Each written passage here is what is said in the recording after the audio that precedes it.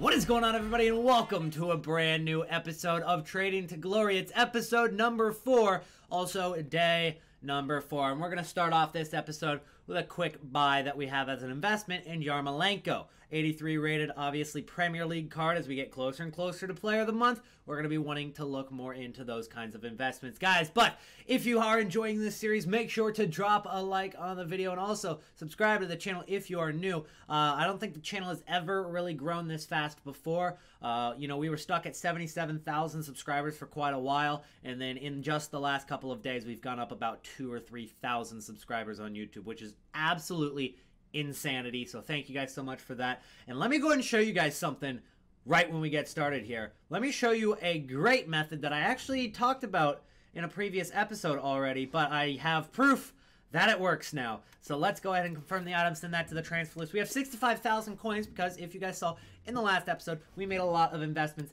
in Premier League informs. But I listed every single one of those cards overnight for more than what they actually go for. Two of them sold. Fraser for 17,750 and also Fraser for 16,250. So as you go across, you know, my Joao Cancelo didn't sell. That was like 5K more than what he went for. Xhaka didn't sell. That's like 8K more than what he went for. Yarmolenko didn't sell because that's 5K more than he went for. And then a bunch of Frasers that I listed up all throughout those price ranges. And I even had several listed up for cheaper. That's the crazy part. Is I had 15k there. I had a I had another 15k's over here.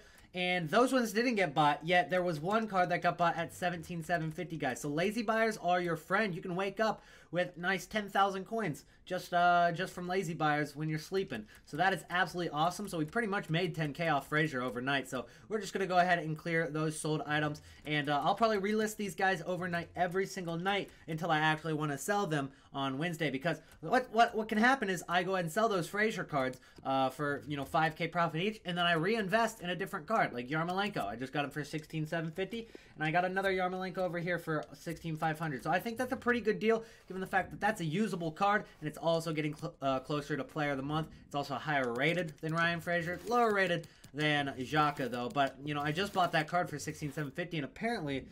Uh, Yarmolenko is already up to over 19,000 coins, so that's already 3,000 coin profit. Uh, and it'll probably continue to go up. So speaking of Player of the Month, if you guys didn't know when that dropped, it'll be this upcoming Friday on the 28th. That's the day of the full release of the game as well. So if you got a Premier League card as an investment, whether it be an inform like Granit Xhaka, whether it be uh, Ryan Fraser, whether it be Yarmolenko, or it could end up being players like Lucas himself, like the gold card. It could be Fred. It could end up being Andreas Pereira. You could just be picking up any Brazilians from any leagues, maybe 83 rated from the Premier League. Maybe it was, uh, you know, Manchester United players because that's a team that Lucas scored against.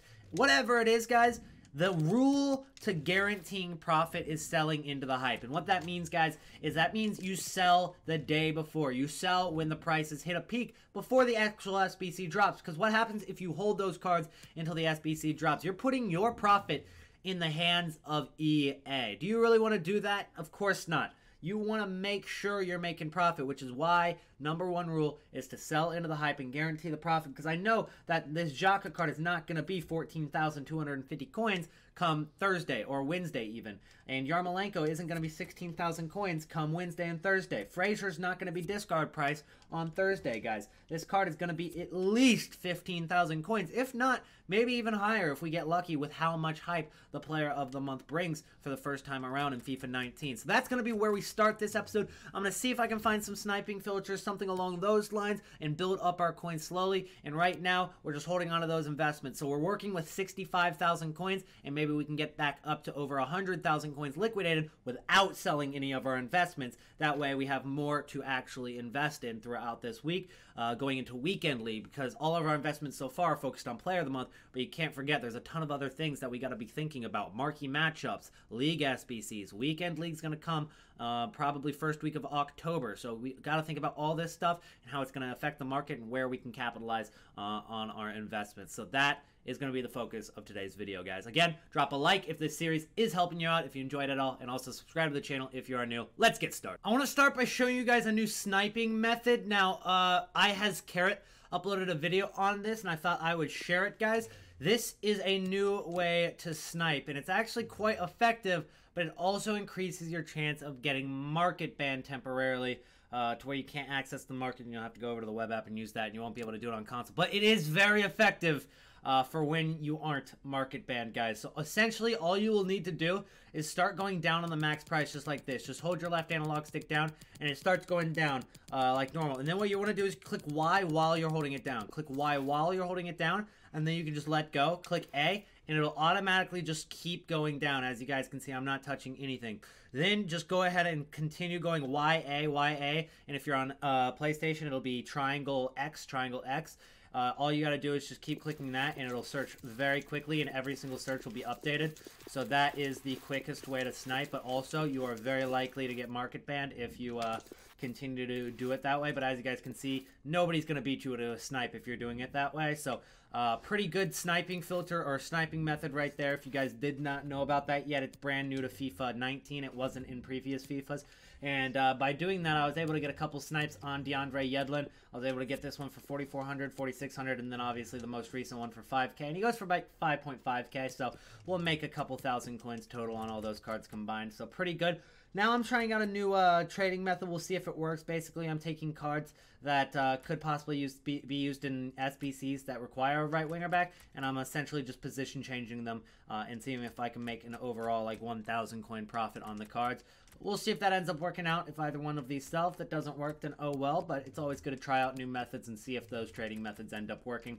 So that's what we're doing right now. And uh, along with that, we might be able to even position change Yedlin. But given the fact that he's not going to be used in any SBCs, really, it's probably not going to be too effective. I'm just going to go and list these cards up for 5,600 coins. I've been listing up my cards for lazy buyers, and a couple more just sold. I picked up another Xhaka uh, to get my, uh, you know, investments back up, but these investments I've been listing for higher than what they actually go for, and some of them are selling every single hour, which is absolutely awesome. Right now, Xhaka is going for about, what is it, 16,000 coins almost? So yeah, 15,750. So anything less than about 14,500 on Xbox right now is pretty solid. But as you guys see right here, our Xhaka sold for 18,500 and our Yarmolenko sold for 20 1,000, and then all of our Yedlin sold there. And then I also got my Deef Silvestri to sell for 2,000 coins. Now remember, I spent about 700 coins on this card. Then I bought a position change for 800. So I spent about 1,500. He ended up selling at right winger back for 2,000. So that method, it might be slow, but it does work and it does make you profit. So that's what it is. Essentially, I'm going out, I'm buying some right backs that might be used in like the Hybrid Nations, uh, uh, the Hybrid Master SBC, whatever the fourth one is in Hybrid Nations. Um, the advanced one, uh, the one on the bottom right, just to, to be clear, uh, they need a five in the back. So you need a left winger back and a right winger back. Since it needs 100 chemistry, you have to get those players in position. And since you have to get those players in position, a lot of people will just want to buy the card already at right winger back. So it could definitely work. Um, as you see, it sold once and I made profit on one of them, but they're not selling like super quick or anything, so I wouldn't say it's like a great trading method, but it is one you can use if you're running out of ideas. But yeah, we sold a Yarmolenko there for uh, for 21k, uh, and I listed another one for 23k. But let's see, can we compare our price from here, or can we just go check the price of Yarmolenko to show you guys uh, if they are actually selling for more than what they're going for, or are they actually just rising to that price? Is it lazy buyers, or is are they actually going for 21k? And as you guys can see right here, they're not actually going for like 22k, but um, for the most part, I mean, I think Yarmolenko is just rising in price a ton. So it might be a combination of one, Yarmolenko is rising. We got that card for 16,000 coins and sold it for 22 almost. Uh, but he also has risen to 20,000 coins. So our investments are already paying off. They're already rising in price. And I think the earlier you're getting in, getting in on these player of the month investments, the better. Um, again, they don't have to be informs. Um, that's just kind of what I'm going for. But guys, don't don't just copy me blindly. Make your you know make your own investments uh, based off of what you guys think is gonna work. Um, you know, I'm just going with informs because you know that's that's probably what I I think is my favorite investment. But there's there's so many that I could choose from too. Uh, like I I uploaded a video a couple weeks ago, maybe about a week ago, before the game even dropped, um, before we knew the database on different like Lucas Player of the Month trading uh, or investing tips. And right now, Lucas is already up to nearly 18,000 coins. If you can get this card for less than 15k, guys, hold that. He'll probably be up over 20,000 coins um, within the uh, next couple of days because I believe they updated his price range. He was capped at 20k. Now he's capped at 40k. They updated that. So they might have just updated it because he was rising a little bit. They might have updated it because they are going to require him in the player of the month. And that is very possible given the fact that, you know, Lucas is the player of the month. So if they were to do a Brazilian team, Lucas would be needed. If they were to do a uh, Tottenham team, Lucas would also be needed. If they were to do literally submit Lucas, obviously Lucas would be needed. So all of that stuff is possible. And that's why Lucas is very likely to rise in price, not only into the hype, but also probably very likely to be used in the SBC. But once again, I still wouldn't hold until the SBC drops because that's too risky. He would crash if he's not needed. And even if he is needed um, in like a Brazilian team, a lot of people are probably going to find cheaper ways to do it. Uh, you know, some people might use Lucas, but some people might use, uh, you know, Felipe Anderson at right mid or something along those lines, depending on the requirements, guys. So just be careful and always sell under the hype to guarantee your profit. This has been extremely effective so far by listing up all my cards for more than what they go for every single hour and overnight for 12 hours. Another Fraser just sold for 15,500, which doesn't seem like a ton of coins, but it's several thousand coins more than one, what I got him for, which was like 11,000 coins, and two, what he sells for, which is like 13,000 coins. So we're getting extra coins every single hour, and even if it's only one or two cards that sell every hour, that is totally worth it, because it's just free coins. It is free coins, and then once we sell them, you know, we sold it for 15k, look at, look at how cheap he is. He goes for 13k. And we can just reinvest in him if if we wanted to, and, and we can get him for cheap again. We can get him for maybe 11,000 coins if we can snipe him, 12,000 coins on bid.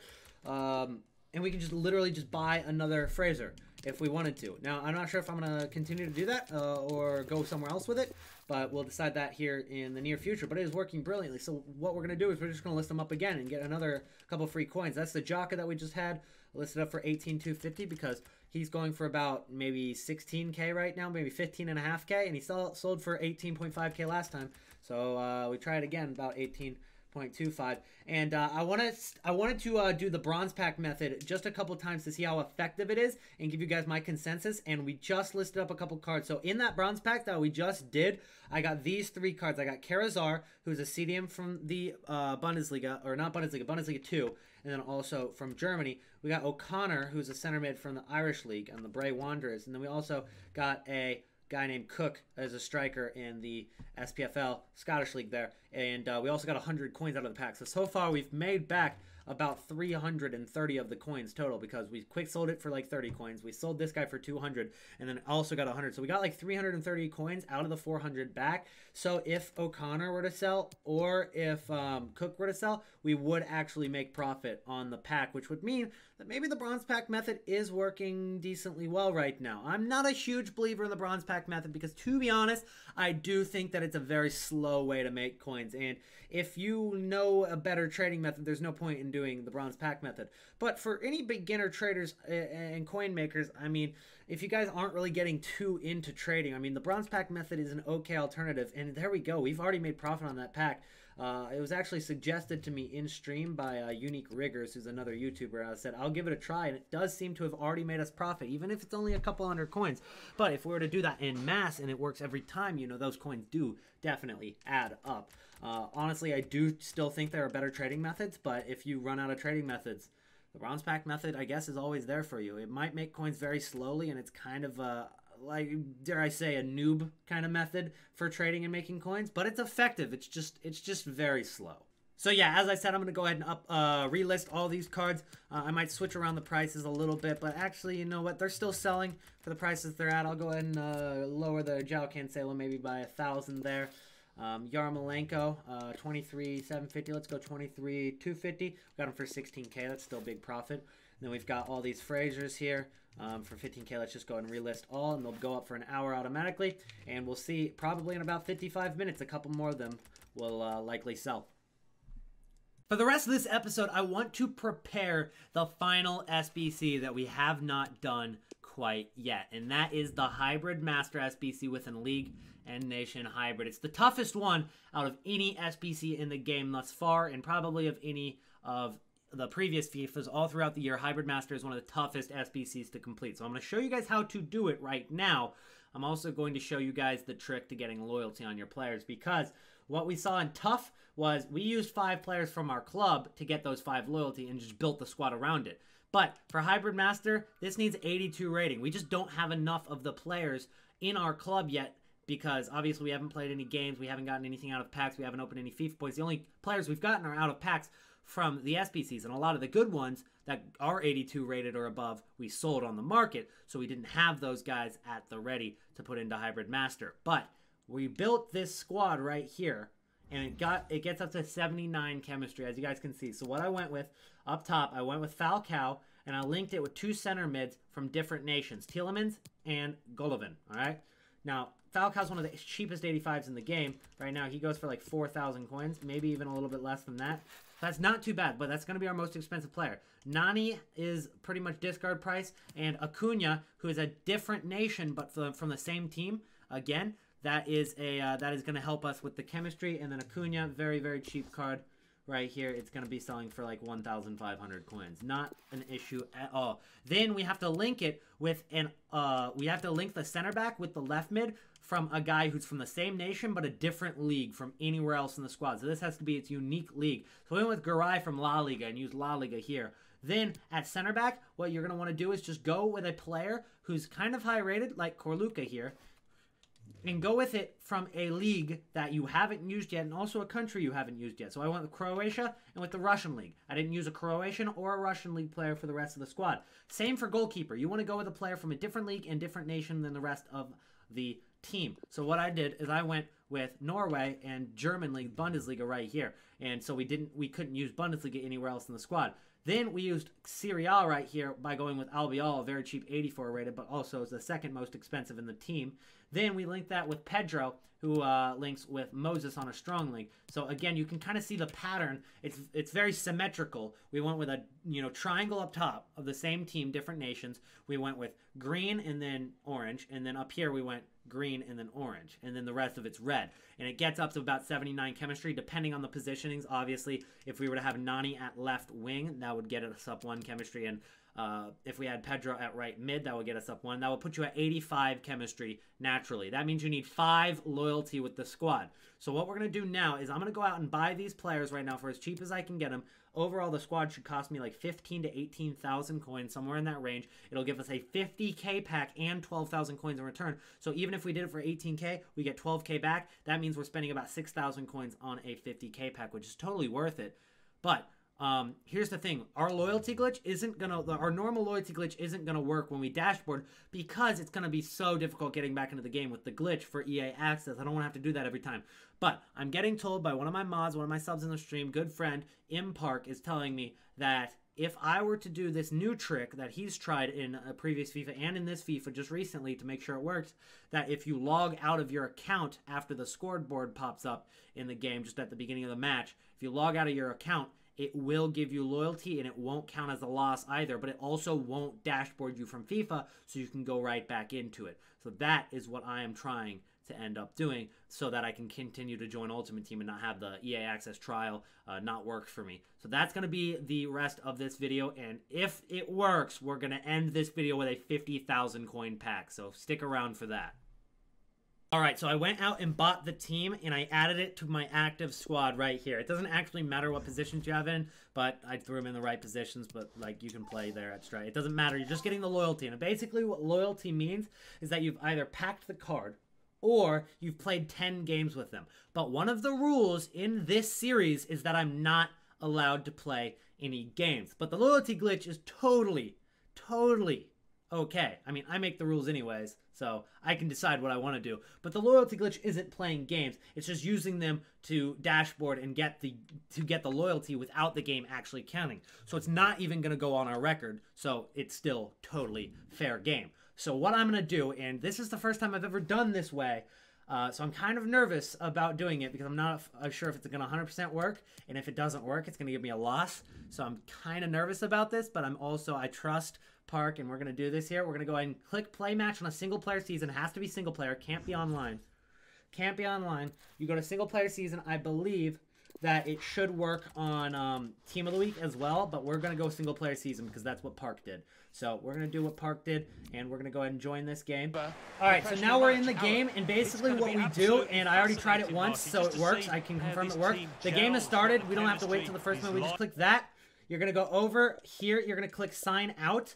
Um, and then you're going to sign out of your main account right here, which is the top one for me.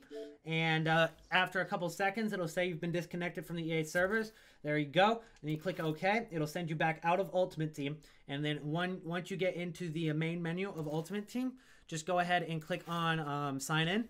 and then you can click on your account to sign in right here. That's my main account. You sign back in, and then you can go ahead and join Ultimate Team there, and you'll load up. And then let me go and show you guys my record, and I'll show you guys my squad um, and uh, the games played. So you need 10 games played, as I said, to get loyalty, and um, we don't want to have any losses on the account because that would be against the rules for the Trading to Glory. Uh, we're not allowed to have any games played. So um, that's basically what we do. We sign into that game um, and take a look at the record. It's still 0, 0, and 0. And you go to squads here, and this is all the players that we used in that game.